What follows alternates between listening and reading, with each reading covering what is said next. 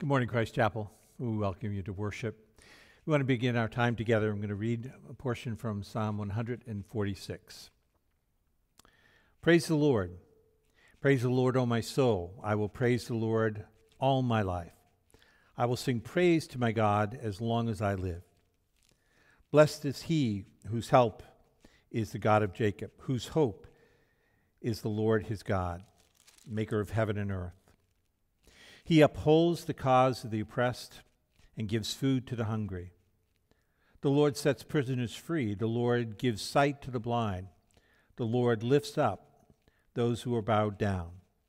The Lord loves the righteous. Would you pray with me?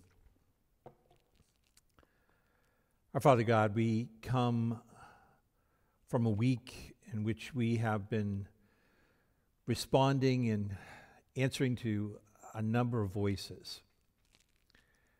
And Father, today as we gather, we want one voice to be clear and above everyone else, and that is your voice.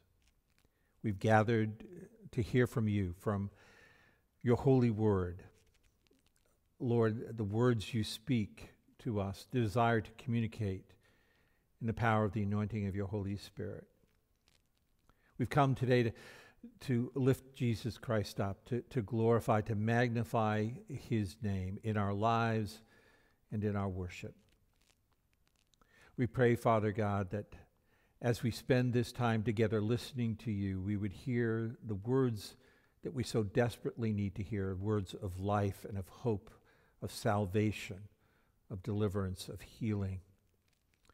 And Lord God, that you would find among us people who stand on their tiptoes, listening, watching, ready to obey. We come, we worship you. In the name of Jesus Christ, our Lord and Savior. Amen.